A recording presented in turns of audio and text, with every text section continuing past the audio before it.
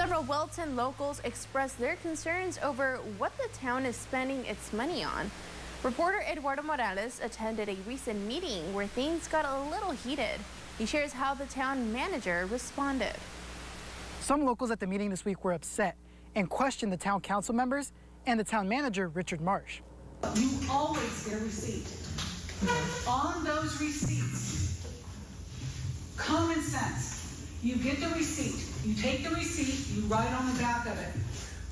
Some of the Wellton locals said they would like to see more transparency with some of the town's purchases and were skeptical about how some money was spent. That includes monthly hotel stays and other charges. Marsh shared the receipts with us as they are public record.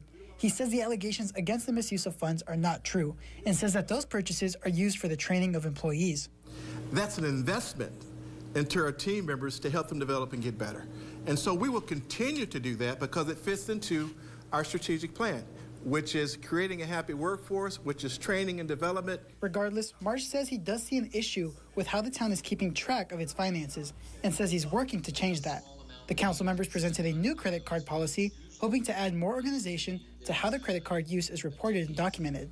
Before, there was no formal policy in place. We also have formally said that when you have uh, receipts, you need to provide those receipts, uh, which people have been doing, but we put it in a document. Anything over $500, we need formal approval for that. The town's council and manager claim that no malicious acts took place with the town's credit card or the town's money, and invite anyone who has questions to come in, sit down, and look at the receipts together. Reporting from Wellton, Eduardo Morales.